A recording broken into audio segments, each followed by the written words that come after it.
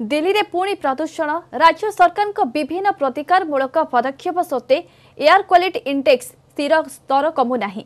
ଆଜି ଦିଲ୍ଲୀରେ ହାରାହାରି ପ୍ରଦୂଷଣ ସ୍ତର ରହିଛି ଚାରିଶହ ବାସ୍ତରୀ। ଚାନ୍ଦିନ ଚୌକରେ ସର୍ବାଧିକ ସାତଶହ ଏକାବନ ଥିବାବେଳେ ନୋଏଡାରେ ପାଞ୍ଚଶହ ଚଉଦ ଆଇଆଇଟି ଦିଲ୍ଲୀରେ ପାଞ୍ଚଶହ।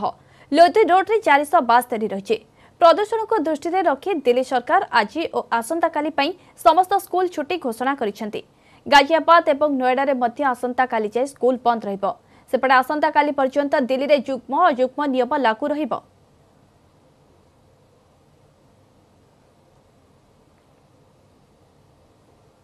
एंजॉय तो नहीं कर पा रहे एक्चुअली सुबह सुबह इतना पोल्यूशन होता है घर से निकलना मुश्किल हो जाती है ब्रीथिंग प्रॉब्लम हो जाती है लोधी गार्डन में सुबह से इतनी स्मोक था कि मतलब ब्रीथिंग में प्रॉब्लम हो रही थी सो खेल भी नहीं पाते ठीक से छुट्टियाँ तो वैसे ही पड़ गई अब एग्ज़ाम्स आने वाले हैं। एग्ज़ाम का टाइम है अभी।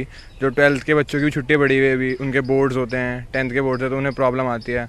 तो मतलब छुट्टी तो मतलब सोल्यूशन नहीं है परमानेंट सोल्यूशन निकालना पड़ेगा। दिल्ली में एक बार फिर से पोल्यूशन लेवल लगातार बढ़ रहा है। इस वक्त मैं इंडिया गेट पर मौजूद हूँ। इंडिया गेट की तस्वीर हम आपको दिखाएँ कि किस तरह से इंडिया गेट को धुंध ने अपनी चपेट में लिया हुआ है।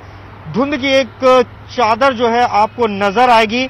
और अगर सफ़र की बात करें अभी मौजूदा एयर क्वालिटी इंडेक्स कितना है वो हम आपको दिखाएँ। तो दिल्ली का ओवरऑल एयर क्वालिटी इंडेक्स चार सौ बहत्तर है पीएम 2.5 सीवियर कैटेगरी में बना हुआ है। आपको बता दें कि चांदनी चौक जैसी जगहों पर 700 से ज़्यादा पार कर चुका है। मैं अगर आपको तस्वीर राजपथ की दिखाऊँ तो राजपथ पर भी आप देखेंगे कि किस तरह से आ, हालात यहाँ पर है।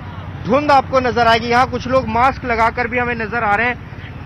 पोल्यूशन फिर से बढ़ गया है क्या कहेंगे आप मास्क लगा के भैया प्रदूषण बढ़ी है जब तो आदमी लगा रखा आँख में जलन होती है और देख ही रहे मौसम कैसे खराब चल रहा है। आँखों में जलन होती है और क्या क्या दिक्कतें हो रही है? और सांसों में भी दिक्कत होती है ये प्रदूषण से तो सांसों में भी दिक्कत ऑटो चलाते हैं जी हम ऑटो का ड्राइवर तो है। और ज़्यादा हमें तो पूरा दिन रोड पे रहना हाँ। पड़ता है तो हमें और ज़्यादा सेफ्टी चाहिए ना।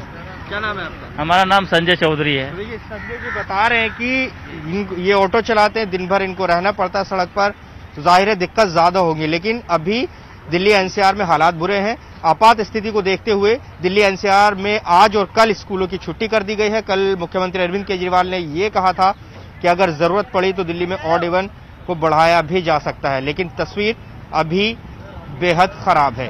कैमरा पर्सन अजय के साथ Javed Mansuri, news eighteen India, Delhi.